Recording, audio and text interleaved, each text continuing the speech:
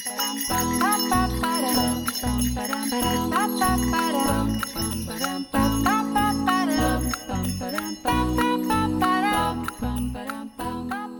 Holiday Month!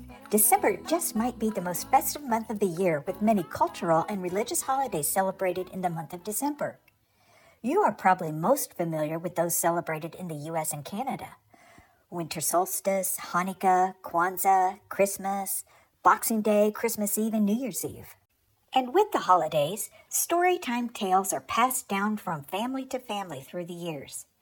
It might be surprising to know that these folk tales, or folklore as it's called, are often about arthropods, including insects. Ladybugs, butterflies, bees, praying mantis, wasps, and spiders all have tales of wonder and wishes during the holiday season.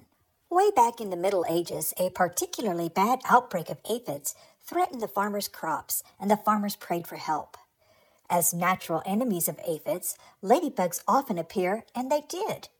Ladybugs began eating the aphids, saving the crops. The farmers called them Our Lady's bugs and cherished them forever. And now we know them as ladybugs, and we still think of them as good luck. Butterflies symbolize rebirth and renewal, and we saw this in our videos, transforming from an egg to caterpillar to chrysalis and to the beautiful butterfly. Bees have symbolic meaning in many cultures. They represent hard work, love, wisdom, and good luck.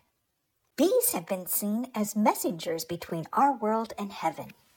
Native Americans believe the praying mantis came before the creation of man and earth. They were cherished as symbols of wealth, success, large family, and the cycle of life. And all around the world, in different cultures and religions, the praying mantis represents courage, patience, perseverance, and the will to never give up.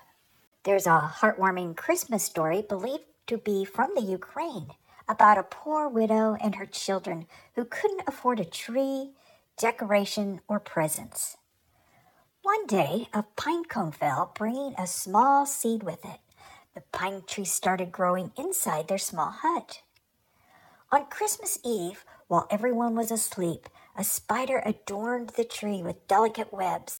When the morning sun touched the webs, they magically transformed into threads of gold and silver. The grateful widow and her children celebrated their Christmas miracle and lived happily ever after.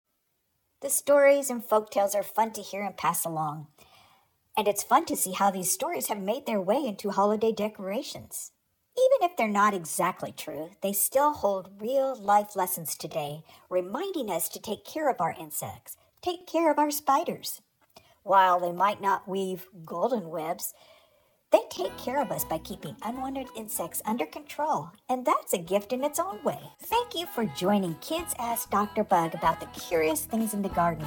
I have linked all of this year's Kids Ask Dr. Bug's videos in the Show More section below. Give our video a like, subscribe to our channel, and don't miss out on our next video. Happy holidays, and until next year. See you in the garden. Kids Ask Dr. Bug originates from the column written by Dr. Tamra Reall, horticultural specialist at University of Missouri Extension. Her column can be found in garden publications, newsletters, and extension websites.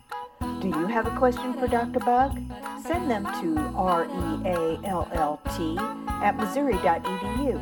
Please put Ask Dr. Bug in the subject or ask your questions online at the address listed here.